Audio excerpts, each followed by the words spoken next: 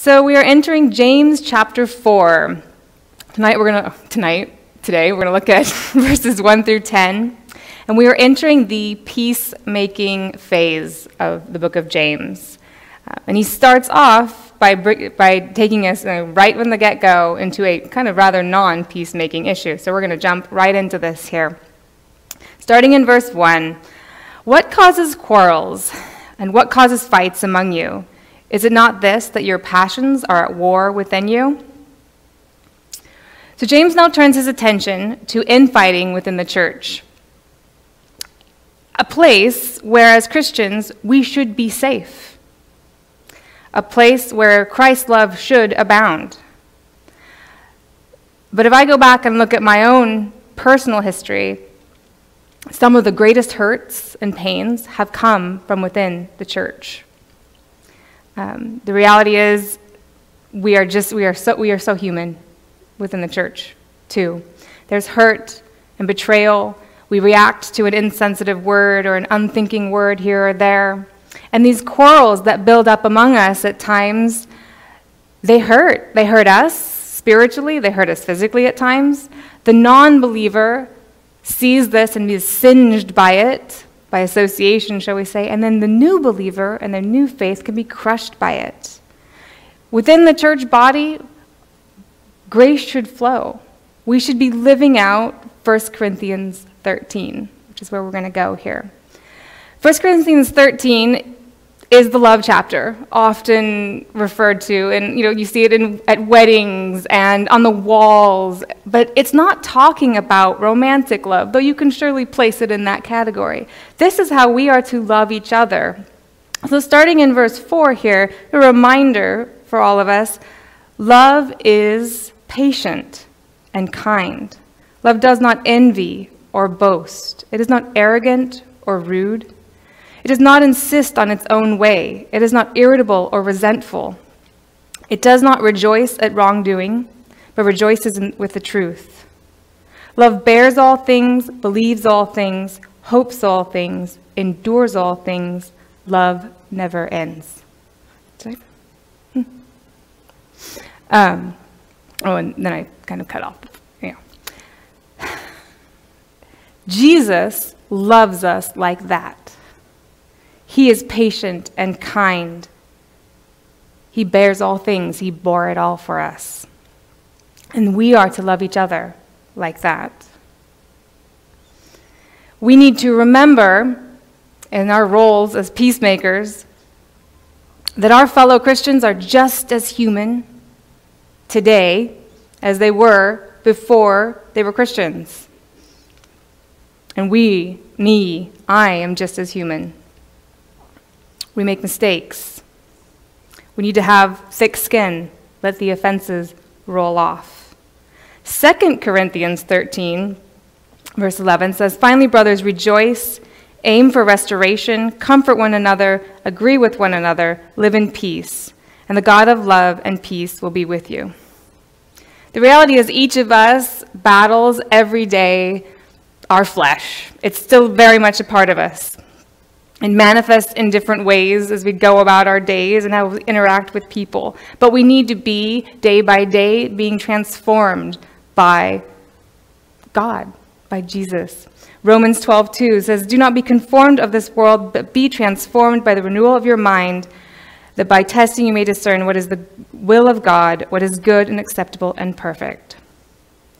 So again, we need to remember that we're human the personalities are going to clash. There, there are times where, yeah, we're going to fight over some petty things. But it's not worth fighting over. There are points, and there are come times, when there are things worth fighting over in the church. The Word of God would be one of them, the truth of the Word of God. Standing firm in our belief in the Word of God. But most of the rest of the stuff, not really worth fighting over. Um, this is just some kind of lame examples here, but you know, the color of the walls, the chairs don't match this. That's just surface stuff. Um, are there physical issues that need to be taken care of at times within the, within the physical church building? Yes. Do they need to be brought to attention? Yes. But then we need to be able to move on and move past it and, go, and move forward um, with what we're really doing here. Um, so this kind of brings us into verse 2 here. Verse 2 says, You desire and do not have, so you murder. Oof. You covet and cannot obtain, so you fight and quarrel. You do not have because you do not ask. So I'm going to take this in a little bit of a shift from the direction our book went. Um, and I, we're going to talk about jealousy over um, spiritual gifts. We can covet and desire all kinds of things in this world, but specifically within the church, we're going to look in this, at this point with jealousy that can occur because of the desire to have a spiritual gift that somebody else has. What does that mean? Um, maybe you're jealous. I'm not. I can probably look at my life and think that, yes, some of these things have applied to me at various times. I'm jealous over someone's amazing ability to speak um, or lead worship. I don't play any instruments, at least not very well. I don't necessarily sing very well, but I really sometimes wish I did. Um, or even being um, jealous over a, um, another person's ability to be a really great prayer warrior or support for someone. I know I've been guilty of this. And this kind of stuff creeps up within people. We're, you know, here we are, we're in our, in our comfortable Christian environment, and we see how this person is prospering with this particular gifting or this gifting, and we want to be part of that too. And it, starts to gnaw on us because maybe we don't have that ability. The word of caution that comes to mind whenever I get like that is with gifts, with these gifts come great responsibility. Whether it's teaching or worship or being that support for someone, um, there's great responsibility that comes with the gifts that God gives us. Um, three verses, in particular, um, all the Gospels kind of address, particularly to teaching, but Matthew 18, 6, Mark 9, 42, and Luke 17, 2 all kind of address the same issue. I'm going to read Mark 9, 42 says, um, Whoever causes one of these little ones who believe in me to sin, it would be better for him if a great millstone were hung around his neck and he were thrown into the sea. That is the burden of leadership, of those who are in, um, in leadership roles, in spiritual roles, uh, le- um, with other people. Of other people. In fact, when you look in the book of Titus, it looks at the roles of um, overseer, elder, bishop, depending on which version you're looking at, um, that are guardians, spiritual guardians, deacons who are servants. And you see that both these groups of people are held to a fairly strict standard um, in, in their personal lives, not just in how they act as they act with fellow Christians in that church environment, but in their own personal lives, the standards are pretty, are pretty high. And the reality is that brings us to not all of us are called to be in those roles. Not all of us are worship leaders. Not all of us are necessarily prayer warriors. Not all of us are, are put into those roles. God has different roles for each of us. And this leads us to 1 Corinthians chapter 12, starting in verse 18. And I have this in the New Living Translation. It was the way I copied it. But it's really clear in how the many parts of the body that we are. So starting in verse 18, but our bodies have our, body, bodies have many parts, and God has put each part just where He wants it. How strange a body would be if it only had one part. Yes, there are many parts, but only one body. The eye can never say to the hand, I don't need you. The head can't say to the feet, I don't need you. In fact, some parts of the body that seem weakest and least important are actually the most necessary. And the parts we regard as less honorable are those we clothe with the greatest care. So we carefully protect those parts that should not be seen, while the more honorable parts do not require the special care.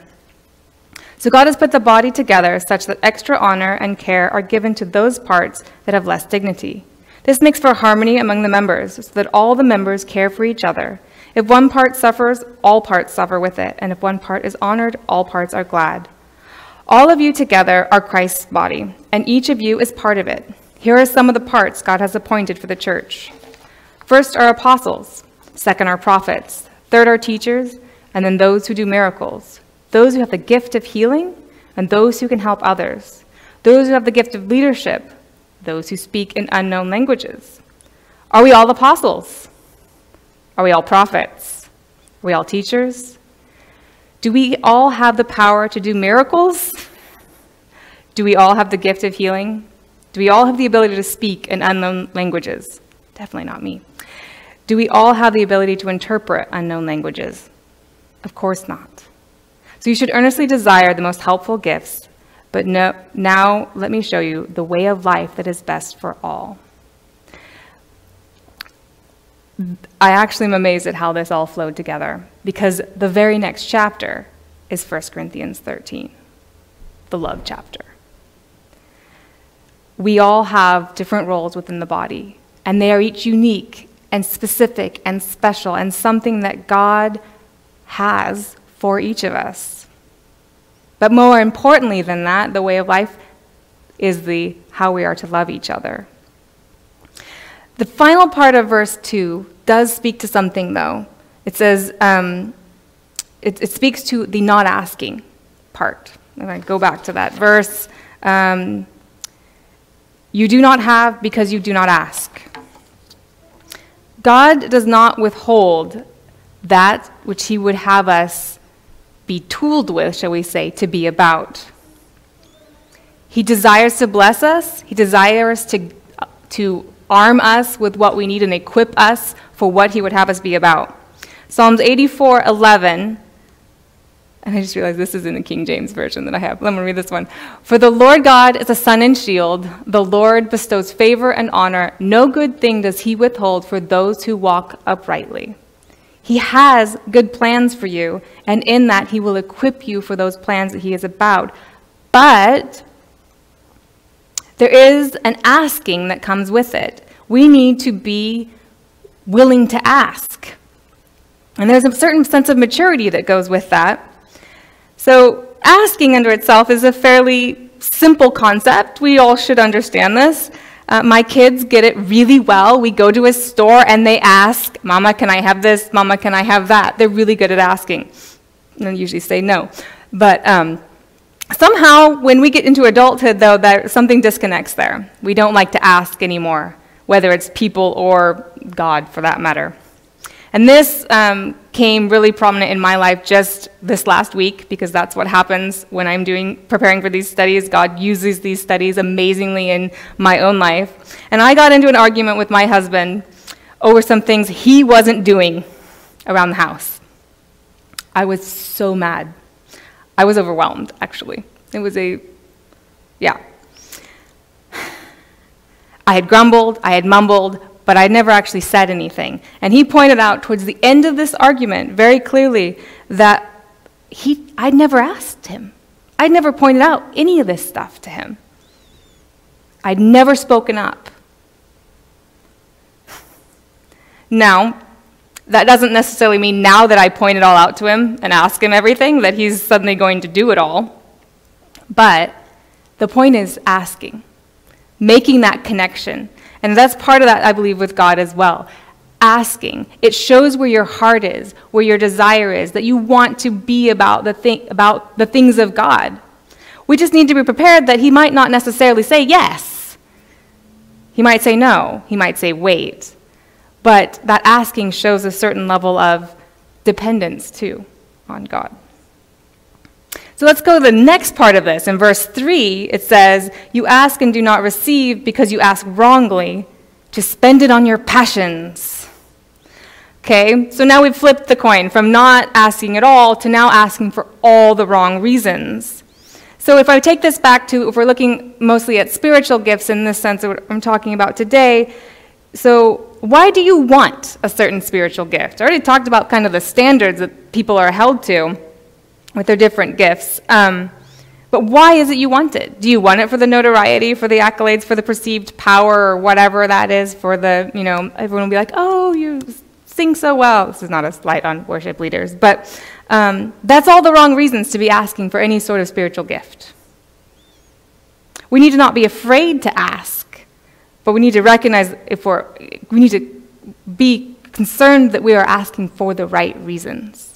Is it for the furthering the kingdom of God? Is it being in His will? Are we prepared for Him to say no? Verse 4 You adulterous people, do you not know that friendship with the world is enmity with God? Therefore, whoever wishes to be a friend of the world makes himself an enemy of God. Or do you suppose it is to no purpose that the scripture said, He yearns jealously over the Spirit that He has made to dwell in us? God wants to be your one and only obsession. And if He's your obsession, your prayers, your requests will align with His will. God will satisfy you with the gifts that He gives you. Things of this world, they are appealing, yes, but they fail. They will never satisfy. You will be stuck in a continuous loop. You'll never get to that final point. Once again, another example that hit me in the face this past week. Um, a really basic example how the world fails. Um, I have been reading this series of books over the past few years, all linked together. Each book could kind of stand on its own, but um, the series all linked together and it was leading towards some grand conclusion. And I read the last book in the series, and I went, wait a minute. It didn't answer, it didn't conclude. Turns out the author is doing a whole nother series that be begins before the beginning of the original series and will carry on past the end of that series. And now I gotta wait on that. The point being is, there's never a conclusion. There's no ending. There's no satisfaction with that that is so like the world. That is the lure of the world and the way of the world. You always got to buy the newest thing, right? The iPhone's outdated as soon as it comes out, sort of deal. So th- that's the reality. God wants to be our obsession. We should not be obsessed with the things or how the world even um, judges, like the things. so now we're gonna we're gonna move here. James is gonna take us He's pointed out what's going wrong within the church. Now we're going to fix it. Verse 6 says, um, But he gives more grace. Therefore, it says, God opposes the proud, but gives grace to the humble. Verse 7 Submit yourselves, therefore, to God, resist the devil, and he will flee for you. When we are submitted to God, the quarreling, the bickering, the, the little nitty gritty stuff begins to fade, and we can we can be in that right place. Uh, David Guzik via Spurgeon brought out, uh, had, so yeah, has this list um, of why we should submit to God. We should submit to God because He created us. We should submit to God because His rule is good for us. We should submit to God because all resistance in Him is futile. We should submit to God because such submission is absolutely necessary to salvation. We should submit to God because it is the only way to have peace with God. All of us took that first submissive step when we came to Christ. Submission, submission, submit, that's a word we don't necessarily like. You know, it's like we're giving up something, but that is absolutely necessary for this. It's what's brought us to salvation. It's what's necessary day by day, and it's very freeing when we are submitted to God and His will and His plan for our lives. Verse 8 Draw near to God, and He will draw near to you. Cleanse your hands, you sinners, and purify your hearts, you double minded. Verse 9 Be wretched and mourn and weep. Let your laughter be turned to mourning and your joy to gloom. James tells us to draw near to God, and He will draw near to you. It's not like an opposing magnet where you're constantly being pushed away. Instead, it's like a magnet, it's drawing you closer. But it's easy to say that. Draw near to God. That's all you need to do, draw near to God. But what does that even look like? Um, so, again, thank you, David Guzik via Spurgeon. We have another list here. It says, uh, so what does it mean to draw near to God? It means to draw near in worship, praise, and in prayer. It means to draw near by asking counsel of God, you know, asking, seeking. It means to draw near in enjoying communion with God. And it means to draw near in the general course and tenor of your life. It is indeed a day by day, hour by hour, moment by moment, drawing near to God. Even if it's just a simple song, you can draw closer to God in any point of your day. Verse 10 says, Humble yourselves before the Lord, and he will exalt you. Humbling yourselves before God means going to him first, really. Instead of trying to do it on your own, trying to go to someone else to solve your problem, do you go to God first? Um, there is no problem so small that God doesn't want you to bring it to Him. No problem so small that God doesn't want you to bring it to Him. And that's humbling to think about. I'm like, I can do it. I can fix this little problem right here. But reality is, God wants to be your obsession. He wants to help you with the little stuff as well as the big stuff. That's humbleness. Uh, David, a quote from David Guzik um, here it says, "As we come, as we come as sinners before the holy God, not as self-righteous religionists, as Jesus explained, we appropriately humble ourselves before God." Then he will lift us up because God resists the proud but gives grace to the humble, and grace, the unmerited favor of God, always lifts us up. When we're humble before God, we'll be in the right alignment as well. We'll be allowing Him to work in our lives. Our prayers will be in alignment with His will. And we can be the peacemakers that He would have us be. We need to remember, as a whole, to speak softly and have thick skin. Don't assume someone's out to get you, I guess. Based off a couple weeks ago, we need to temper our words with the love of Christ and draw near to God day by day, that we can have that connection, that we can be praying in His will, asking Him for those things, drawing near that's what I've got. I'm going to close in prayer. Father God, thank you again for this time.